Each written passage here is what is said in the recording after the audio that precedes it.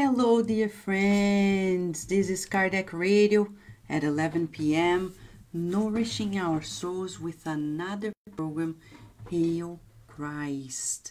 Hail Christ is here to teach us about ourselves. When you think of yourself, who are you, right? It is important for us to really think about who we truly are. In psychology and in spiritism, we understand that we're much more than we can see in ourselves. But spiritism comes to us to clarify that we are much more. We are divine. So our deep essence is divine. And as we incarnate and reincarnate, we create personalities that will be integrating uh, who we are. It's like expansions of ourselves. But sometimes there's a glitch here and there. And what do I mean by glitch? There are things that are not really aligned with our the best in us, and that's a problem that we need to fix. That's why we get to know about the problems of the ego. Not the personality that we are creating as we incarnated, but the problems that happen within it when we need to um, create masks to survive and to do things in terms of our daily lives to make sure that we are we get what we need. Those egotistic traits need to be polished in the book hail christ these are the things that we see we see those who are very advanced morally intellectually and those who are still falling behind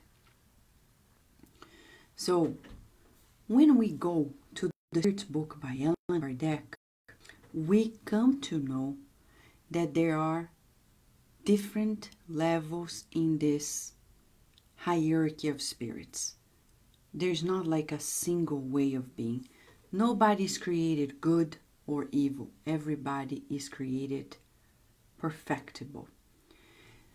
But what happens? We have levels of evolution. So we have, as Kardec says, in an educational manner, questions 100 to 113 of the Spirit's book. There are imperfect spirits, good spirits, pure spirits. Jesus at the level of good spirits. On earth, we are still majority imperfect. But that doesn't mean that something lacks in us. It means that we need to expand. We need to perfect ourselves, refine. It's like a diamond in a rock, and we polish and we polish and we polish, and then the diamond comes. That's who we are. In the book Hail Christ, we're going to see the same. Spirits that are very, very, very, very imperfect to the point of saying lack true experiences and knowledge, which is evil, like Helen Theodulus, and others like Quintus Varus, Livia Basilius, who are already showing to us the beauty of life at another level. On earth right now, we have the same. As we are in a planet of trials and expiations, we are in this eh, range whereas we have spirits that are still at the beginning of the level of expiations and trials, others who are fully immersed in it, and some who are already living a way of regeneration. Yes, it's true. There are some who are on earth already experiencing this regeneration because for them daily good prevails. So, where do you think you are in that regard? You think you are closer to the regeneration or to trials and expiations? When we are closer to regeneration, we like learning, we love serving, we are always trying our best to trim the bad part of us to really accommodate the good. This is what regeneration is all about. We prioritize the good, and thus we sacrifice our needs for the needs of others. This is the chapter we're studying in Hail Christ. So, welcome, welcome, dear friends. I'm just double checking here. Yes, the system is working, and I see great friends joining us. So, let us reflect at the beginning of this program today where do we think we are? Because when we are in trials and expiations, we're still kicking and screaming about the problems in life. We're disappointed that life is not the way we want it. We are frustrated because we wanted something and life is not presenting to us. This is a person who is still full force in this trials and expiations mode. When we are in regeneration, we go through issues, but we can see the brighter side of things, like Livia, like Basilius, the first Christians. Did we get it? Yes? This is us, learning with them, as Emmanuel says in the preface of this book. He says to us, Spiritism calls for brave souls to sacrifice themselves in order to spread the good news victoriously. And he says to us, May the example of these post apostolic children of the gospel inspire in us today the simplicity and toil, the trust and love with which they renounce themselves in service to the Divine Master. May we, as they, transform thorns into flowers and stones into bread in the endeavors that the Most High has placed in our hands. What do you think? Hmm? Let us transform stones, thorns into flowers, stones into bread. Right now at Kardec Radio, that's what we're doing together.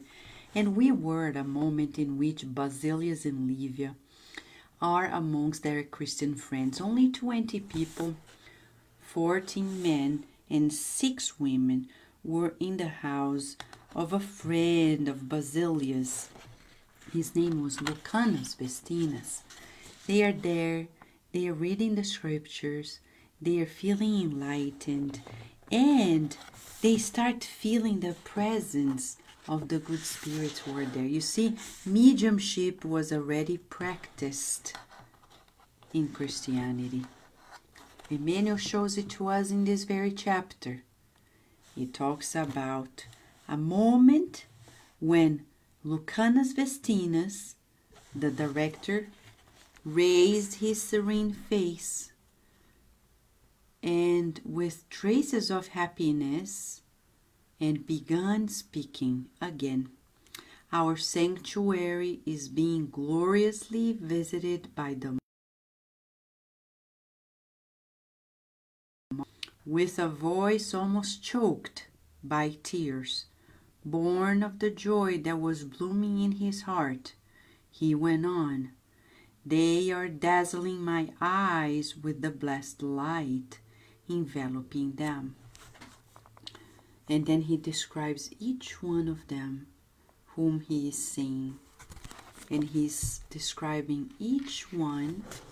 He paused and said that the one of the spirits who used to be uh, part of the group before opens the fragment of a scroll of light and asked Lucanus to read it out loud to the people.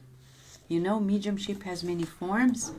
Here we're describing one. He's seeing, he's describing. There is a scroll of light presented with writings, and he, the medium, Lucanus, is reading from what he's seeing spiritually. See, Emmanuel is clear. Mediumship has always existed. It's not an asset of Spiritism, not an invention of Allan Kardec.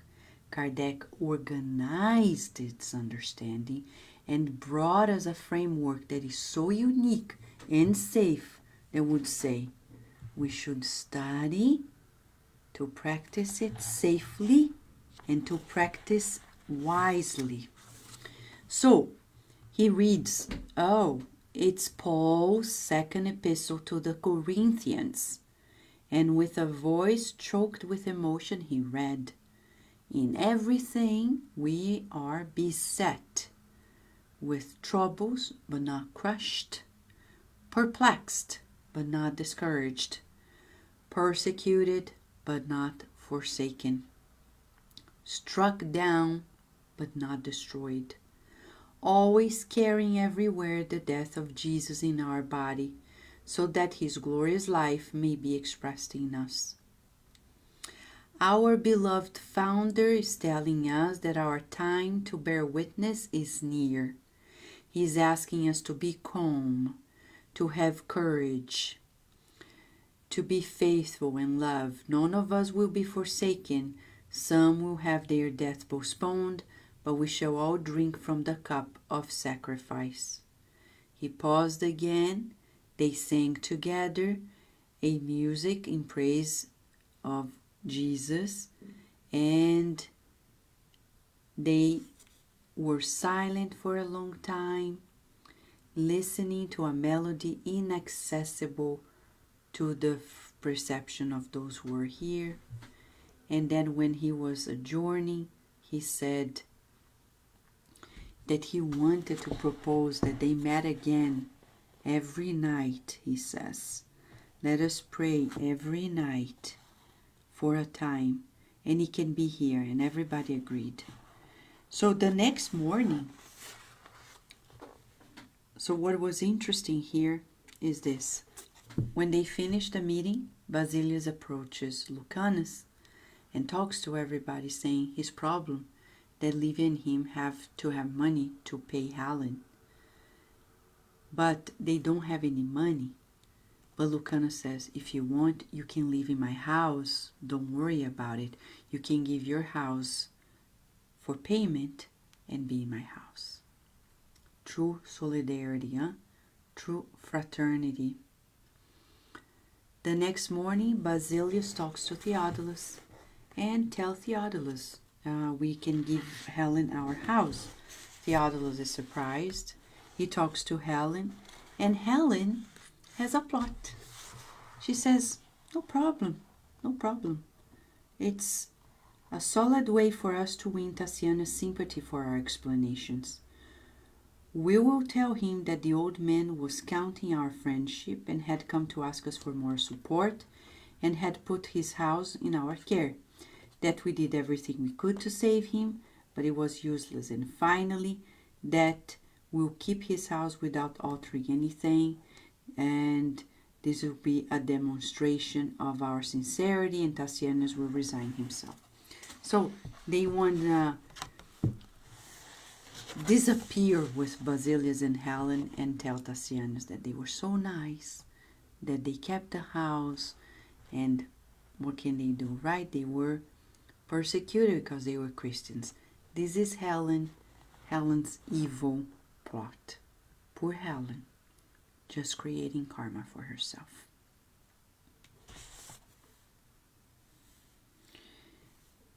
When Theodulus came back from talking to Helen and told Basilius and Livia that they would agree with it, right? Livia and Basilius were happy. Can you believe it? They're kind of losing their house. They are. And they were happy. They were commenting on how beautiful the sky was. They were talking about the flowers, the sun, the landscape. Such a serene attitude No wonder we're talking about this new attitude that we're all being invited on earth right now. If you watch the news nowadays and, and see what's going on in the world, it, it's very challenging because you start you start immediately feeling because of our mirror neurons oh my gosh this happened to that person. It may happen to me. And then you start feeling like all the symptoms of the coronavirus and the problems. Hold on let us together practice something shall we friends let us practice this joy of living this calmness because if we have to go through anything by being desperate, we're not helping. I know it's hard because it may be new to us. But look at history. We have gone through so many things.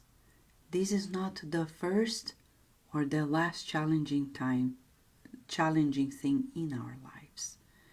Tell yourself you've been through other issues in this life in previous lives. And here you are. Here I am. We are strong. We're strong enough to go through trusting that God will protect us. And not from the coronavirus because it's not about choosing who gets it and who doesn't. Of course, none of us want to experience this. But there are many people who experience it and they survive. They survive, everybody survives. Some survive in the afterlife, others in the physical realm. There's no end. And death is not a problem. I know nobody wants to suffer, and that's human. But right now we're learning with Basilius and Livia that there is always a way to find the good in it, to seek the good. Let us let us together think about it daily. Okay? You and I I am part of a global current of the good. I decide to seek the good. Keep saying it to yourself during the day. Remember of us here because when you do it and I do it, we create a current of light, of healing, connecting to the superior spirits, and we can be used for the benefit of others. Shall we, friends? Yes? Yes, we're not alone like these Christians. For the ancient Romans, who were they? Nobody. But look at the beauty on the behind the scenes how many spirits? 20 people. And when you count Lucanus describing how many people are visiting, it looked like there were more people. There were more discarnates in the meeting than incarnates. Everywhere it's still like this on earth. So there are good spirits watching over you, watching over me. We're not alone. So let us repeat daily. Thank you, Carol Correa. I am part of a global current of the good I decide to seek the good. I am part of a global current of the good. I decide to seek the good. And daily, daily, I'm part of a global current of the good and I decide to seek the good in all the situations. Finding the best in everything and everyone and praying. Okay? So, Unfortunately, Helen creates this plot. It's hard. She goes talk to the administrator of Lyon. She's friends with them and says, You know, Valerianus, I have proof that there are people who are gathering together in a particular home and they are cherishing this thing of the Nazarenes. And he's like, Don't worry, tonight we're gonna go there and put a stop to it. These are my own words, of course, right? And before it all happens,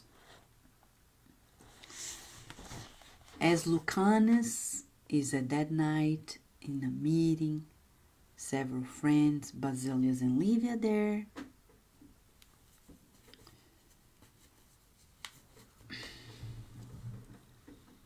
They were just praying the last verses of the Lord's Prayer. Do not let us fall into temptation, but deliver us from evil. For thine is the kingdom, the power, and the glory forever shall be it. When they said it, the soldiers came in. Let's go in. This is the place. The foxes are in their lair. And they are there. Violence. It said they separate the women from the men. They arrest them. But before they arrest, there is a dialogue that in which Lucanus says, "We don't fear the martyrdom." It's mind blowing when you read these dialogues because it teaches about this confidence that we may acquire when we're truly cherishing these teachings of the good news deeply in our hearts. It makes us feel deeply courageous, not against anybody, but before life in general, ourselves. We don't doubt anymore the providence of God. It's sad because violence is just uh, falling upon them. They separate the girls, of course, they are going to be raped. Emmanuel describes it. He doesn't use the word rape, but he describes the whole plans of the guards, soldiers, in abusing the girls. But Livia, when, when she separated, she separated, she separated from everybody else. Hold on a second. Basilius, as her father, talks to her one last time. Goodbye, my child. I do not think we'll see each other again in this mortal life, but I shall wait for you in eternity. If you are delayed on earth, do not feel that you're far from my footsteps. We'll be together in spirit, only the flesh lives in the shadow of the tomb. If you are abused, forgive. I will repeat it because this is strong. A father who loves her child and says, If you're abused, forgive. This is really different because to date, people wouldn't understand this advice. Food for thought. The progress of the world is achieved through the sweat of those who suffer. Let's listen to this. Huh?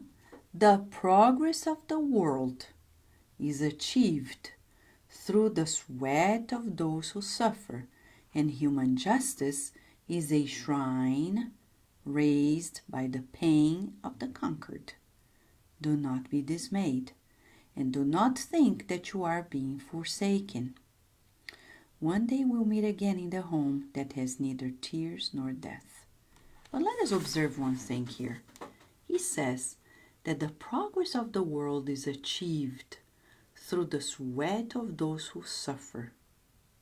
Point period. Think together. How are we going to transform the world?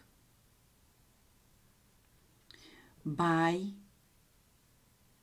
stepping forward courageously into doing the things that are need to be done. They will be new, innovative, different, sometimes awkward to the world.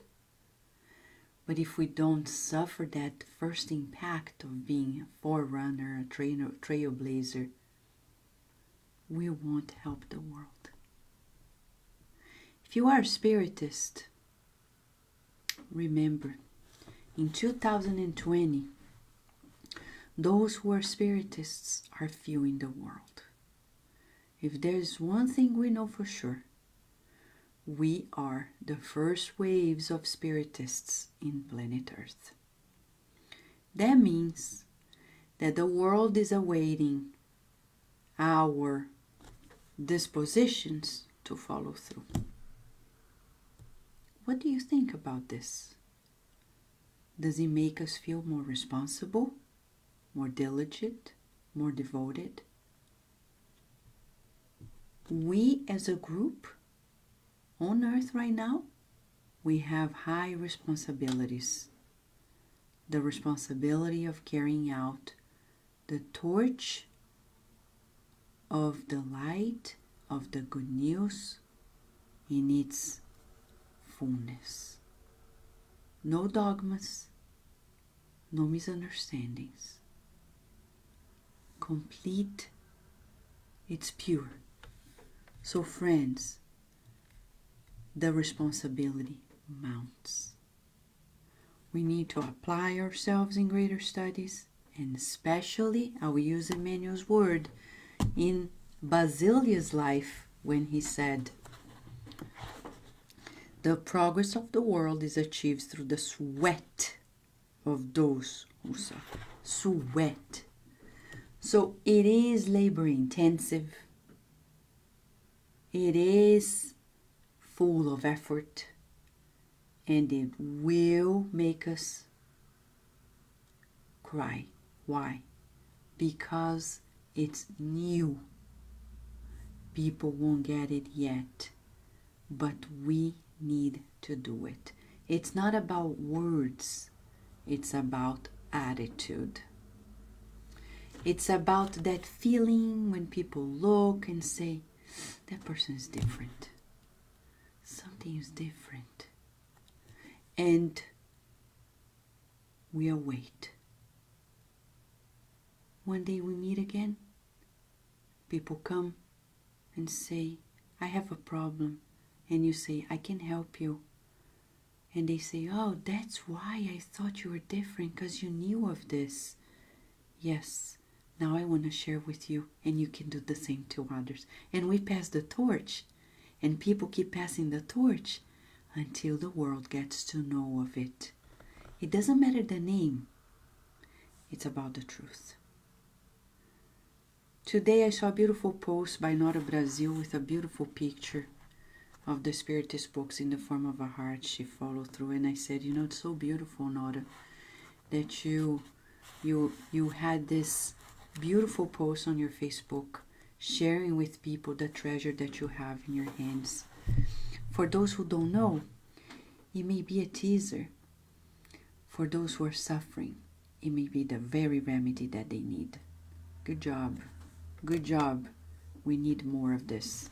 Yes, Lara, responsibility and labor intensive.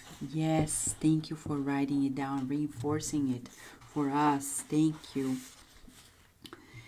So, of course, some go to prison. The girls go to a separate room. But Livia, oh, sweet Livia, there's always something about her, right? There's always something about her. She is asked to be in Valerianus' in, a, in one of his offices. Remember, Valerianus is the very administrator of the Roman Empire in that city. And he's married to Clymene, who is friends with Helen. And Helen did everything she could to get rid of Livia because she's jealous of Tassianus and Livia. And go figure. Livia ends up there and Valerianus falls in love with Livia. He doesn't abuse her. He tries to convince her passionately to surrender to his whims. She's crying and saying, I'm sorry, but I can't. And he waits for days. Now everybody's talking about it. His servants, and of course, his wife got to know. One day, Valerianus is in that office trying to convince Livia of what he wants to do with her, but he doesn't want to force her into this. And Clymene, the wife, is overhearing the conversation. What's happening? And she hears the whole conversation. He talks about her. She says, You know, my wife and I are nothing. We're not a piece any longer. But you, you're the dream of my life. I can give you everything. You'll be my wife. I'll give you my whole world, etc. And she's grateful, but she says, I can't. And in spite of her cries, her sobbing, her resistance, Clymene, who is overhearing it, is furious. Not necessarily with her husband, but she's furious with the woman. She's so jealous. What does she do? She runs talking with Helen, not knowing that Helen knows who Livia is. Mamma mia. Poor Livia. From the get go, remember when she was abandoned as a baby? And then her whole life bumpy, bumpy, bumpy, bumpy, bumpy, bumpy, bumpy road. It's a bumpy road for her. She marries with a guy who's gambler. She meets the love of her life who can't be with her, though he wants to, but it's not the right way of doing things. And then now, Helen gets to know, and Helen has a terrible idea. She says, I'll read it to you. She says this. Okay.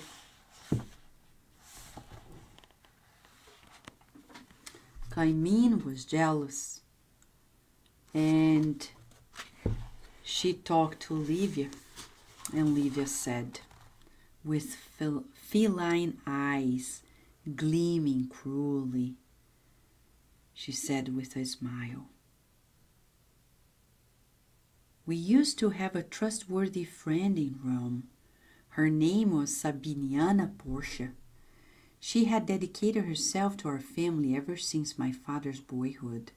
Sabiniana was married to Belisarius Dorian, who never resigned himself to have just, one, just one woman.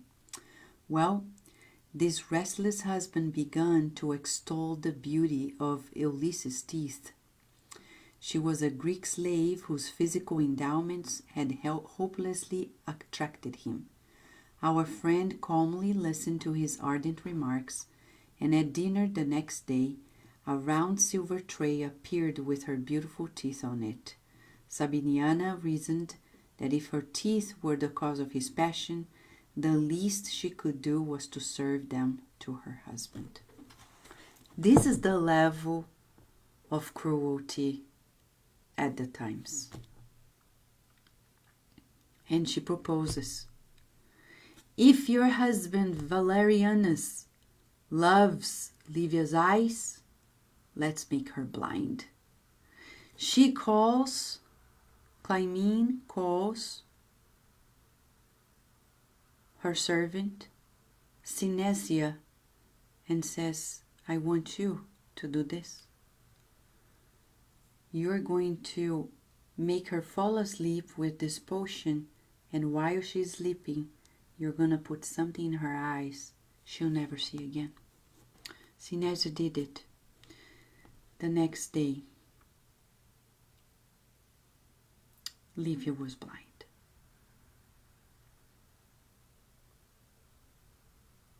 It's mind blowing what Emmanuel is describing to us. It's so graphic, so full of cruelty, right? Why is Emmanuel showing it to us? again to help us observe our shadows. This is us, not very long ago. And thus, the reasons why we're still here on earth to overcome our jealousies, our spite, our envy. All these stories are full of pride, selfishness, and envy, jealousy. We're not able to see the beauty in others and their progresses without feeling like, why not me? And we have to do the same or put that person aside. This is just like Helen.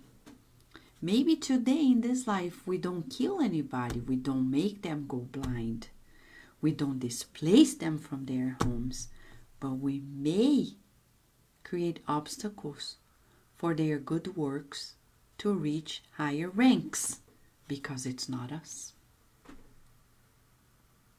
And then we're jealous. So we need to observe in this chapter our shadows. Jealousy is big in this. Big, big, big, big, big. Jealous. If I don't have it, then spite. They can't have it either. And then this need to be center in people's lives. Let us meditate on this as Emmanuel is inviting us to cleanse the heart. And if you ask, but how do I tame this jealousy, Vanessa? Sister Shayla has a message that is so beautiful bless always. And she says, when we start blessing everything and everyone, life transforms. So when you see somebody who is doing beautiful works and you feel like that peak of jealousy, quickly breathe in and out and say. God bless you. Keep on going. Keep on going. God bless you. You are my brother, my sister, and I rejoice with you. Even if you don't say to them, say to yourself and throw these words in the wind of life to them.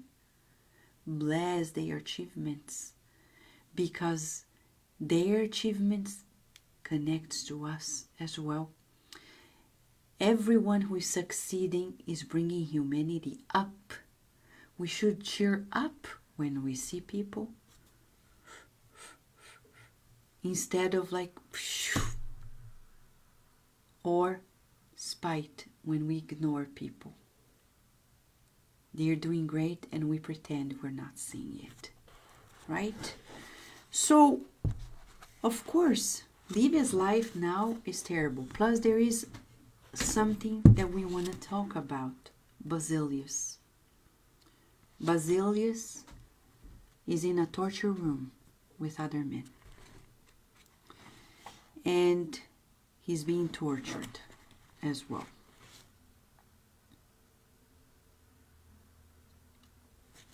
He's being tortured. They are tying themselves and pulling them apart.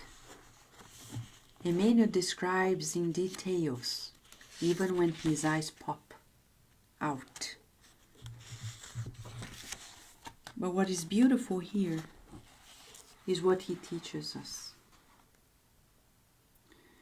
Nomicius' aides tied both old men to two large wooden horses and bound their arms and legs with rough leather cords that stretched their bodies to the point of pulling their bones out of joint. Lucanus calls the whole group to cheer them up, saying, Do not grieve for us. Grief and despair are not part of the master traced out for us. You see? Grief and despair.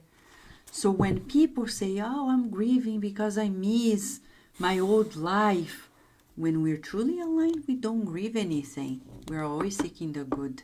There must be something good in the times we're living in. We need to seek it.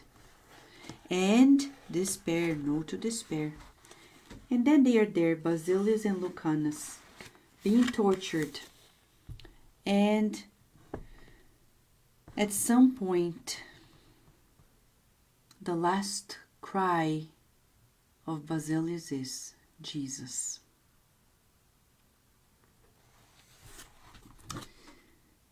Remember, Emmanuel, who is writing, is talking about his very incarnation as Basilius.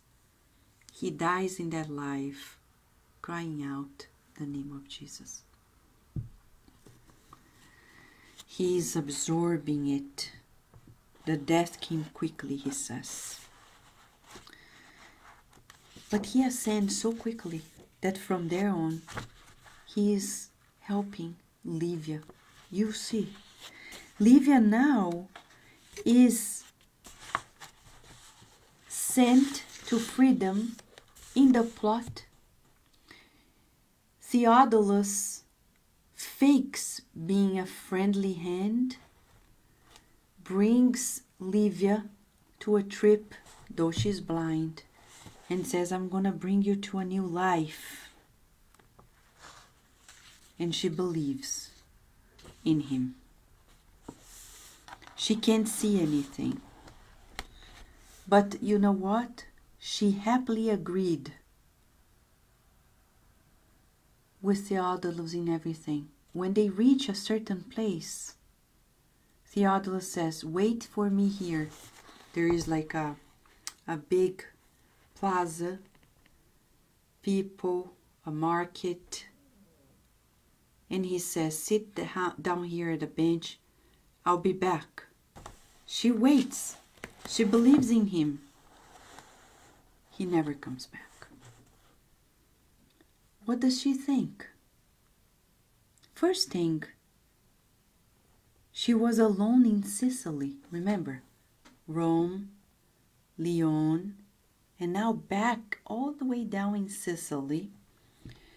And she says to herself, why had she come into the world with such a destiny? She wondered in torment. And then she started thinking about the mother who abandoned her when she was a newborn, and then again she's abandoned. But she realized that the future needed her to recompose herself. So she gave thanks to God because she could weep freely. And even though she was separated from Basilius, she could feel his immense love. She remembered the teachings that she heard at last, and as the tears were running down her face against the evening wind, she said a prayer to God Dear Father, please do not abandon me. Remember the day when you pulled me from that path and shelter me again in your love. I'm fondly once again. I do not know why this adverse fate is waiting on my soul, but I believe, as you taught me, that Jesus watches over us from heaven. Now that I'm shattered and blind, please do not let me lose the inner light of hope. Help me regain my spirits. You often told me that suffering purifies us and lifts us up to God. Enable me to understand this reality more powerfully so that sorrow cannot lead me to the brink of rebelliousness.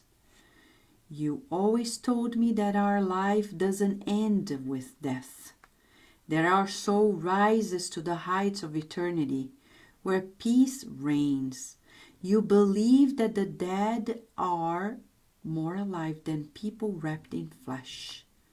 And you also believe that our loved ones beyond the grave can help and protect us. How then could I forget you, who were my continual friend and the benefactor of all my days? How happy I would have been to have followed your footsteps. But I could not enjoy the privilege of dying for Jesus in the torture of the arena.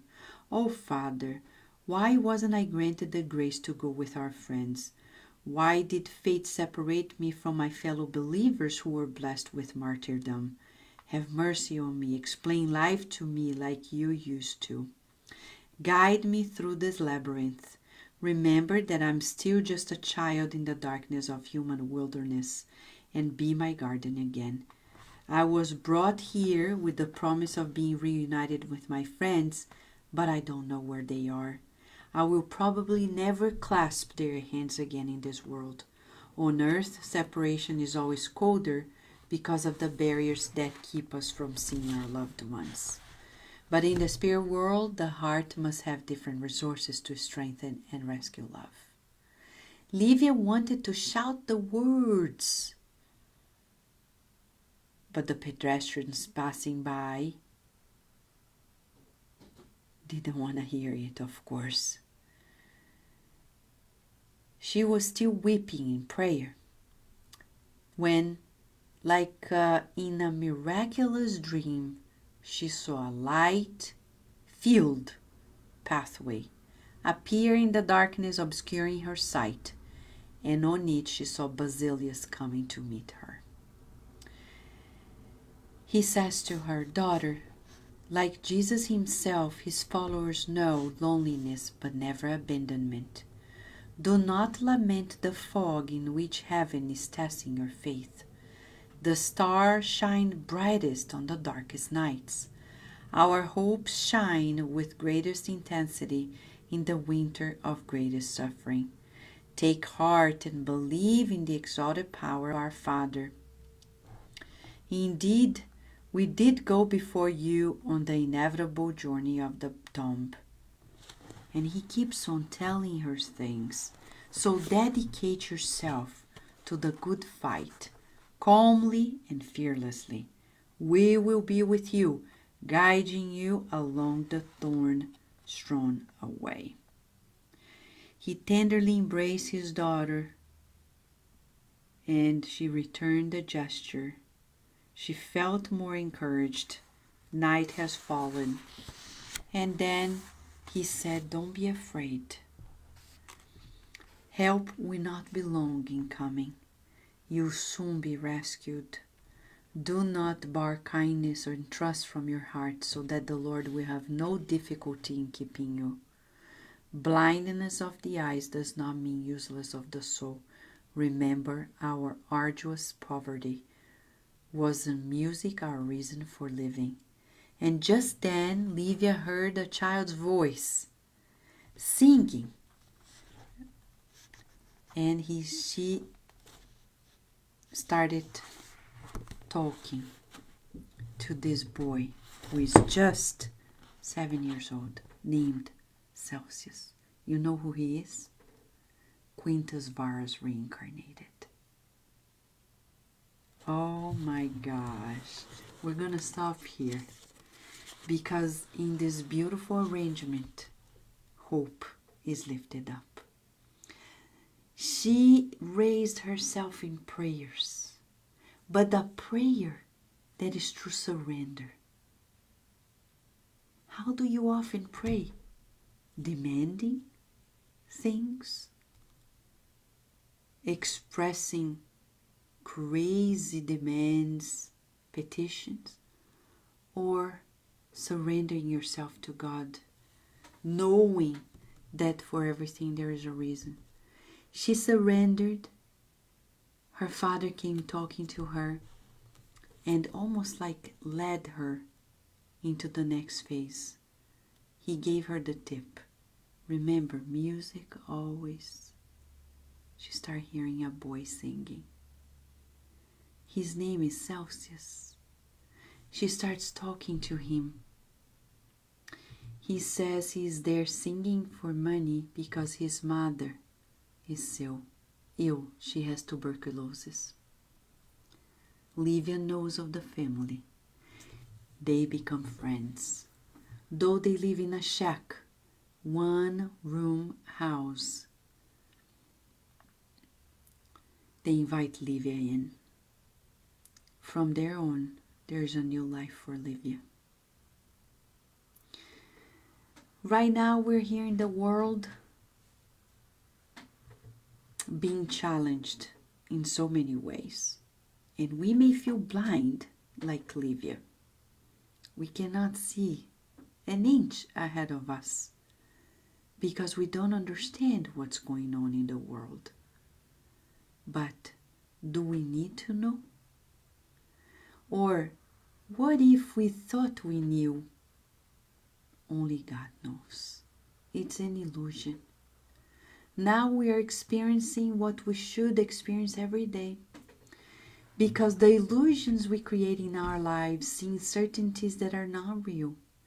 Right now, life is saying, I'm going to teach you to believe in God and only God, because everything else is just an illusion. Livia learned little by little to deepen her faith. She's gaining new levels of faith. So are we. In the next 24 hours, let us practice this exercise, saying this affirmation to us right here and now. I am part of a global current of the good. I decide to seek the good and find the best in everything and everyone. Let us feel connected, and we are forming this current of support, connecting with other people, and making sure that we have one only certainty that God provides to us. God loves us and provides to us everything we need. Shall we do this, friends? Yes? So let us pray. Let me see where is the earthly globe. Somewhere I can't find it. Maybe Virginia got it. but let us visualize our beautiful planet here in our hands. Hold our planet Earth with your loving care. Bring it to your heart. Let us visualize this beautiful planet being enveloped by rays of healing light. Let us breathe in. This healing visualizing people feeling calmer, people feeling hopeful, people healing.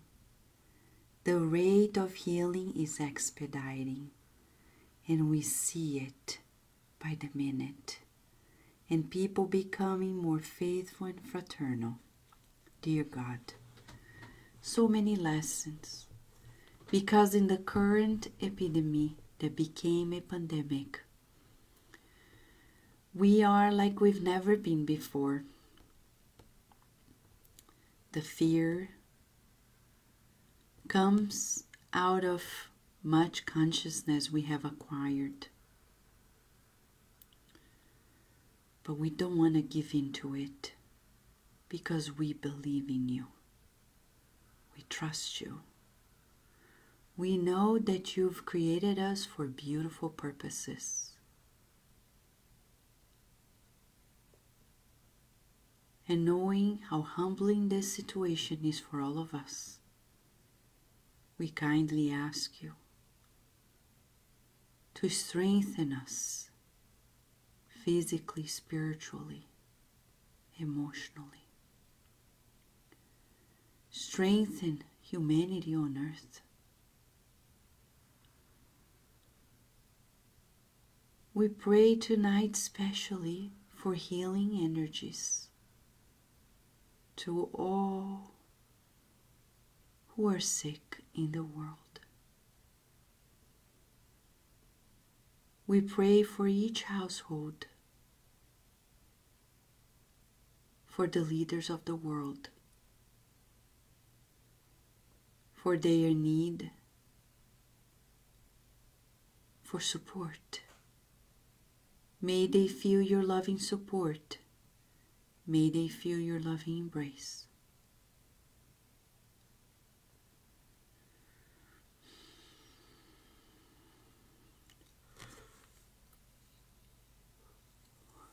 We're letting out of unneeded energies. Substituting thoughts that are no longer needed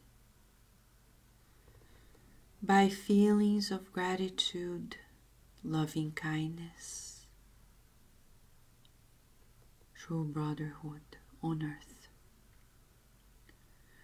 And may we here in this current of love whether live or on demand, be sustained daily in this volunteer service that we shall do, repeating to ourselves that we are part of this global current of healing of the good. And we are committed to seeking the good. Feeling your loving embrace, feeling your kindness.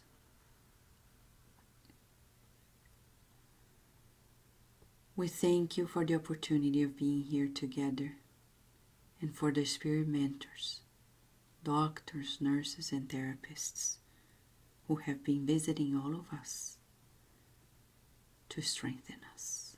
And so be it.